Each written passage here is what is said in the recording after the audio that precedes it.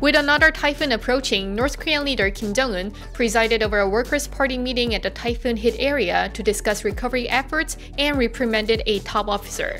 According to the Korean Central News Agency, Kim briefed that Typhoon Maysak destroyed more than 1,000 houses, inundated public buildings and farmland when it struck the South and North Hamgyong provinces last week.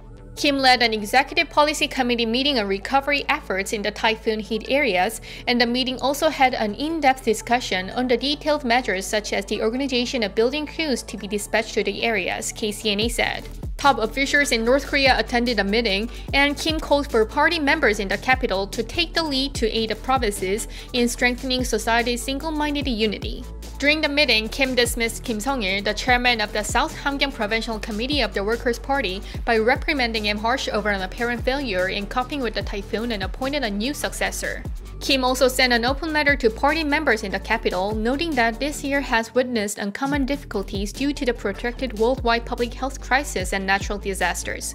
After Kim presided the meeting, 300,000 party members went to the Hamgyong province in a bid to recover the destructive scene by the typhoon, and the number of the participants are increasing, according to KCNA.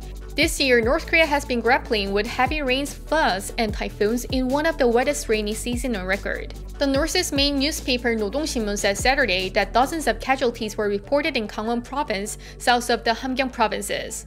Meanwhile, North Korea was on high alert again for an approaching typhoon named Haishen, its 10th typhoon of the season, which likely to be stronger than the previous ones that hit the country. To minimize damage to people and facilities, North Korea notified evacuation routes, called for efforts to prevent its agricultural areas from flooding again, according to KCNA. It added officials were taking various measures to prepare for the upcoming typhoon in several areas, including the quarry sector, power plants, and the fishing industry.